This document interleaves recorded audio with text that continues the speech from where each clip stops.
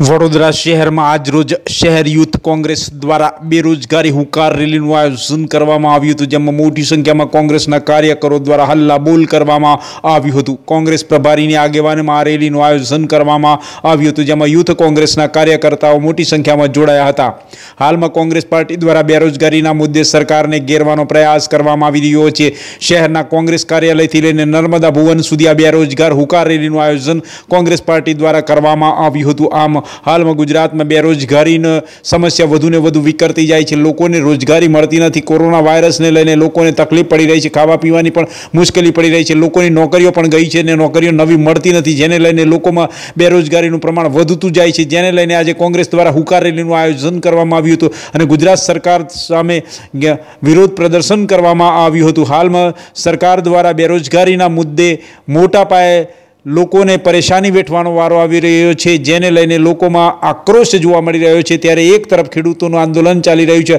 અઠ્ઠાવન દિવસથી આંદોલન ચાલી રહ્યું છે. તેનો પણ કોઈ નિર્ણય આવ્યો નથી. અગિયાર બેઠકો, બે નતીજા રહી છે. ત્યારે આવા સમયે કોંગ્રેસ દ્વારા બેરોજગારી રેલીનું આયોજન કરવામાં આવ્યું હતું. અગાઉ ગુજરાતમાં